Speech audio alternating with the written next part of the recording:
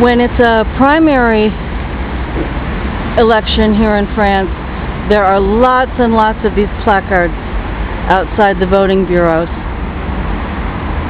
And now that there are only two candidates, there are only two.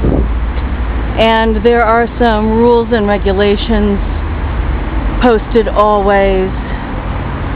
And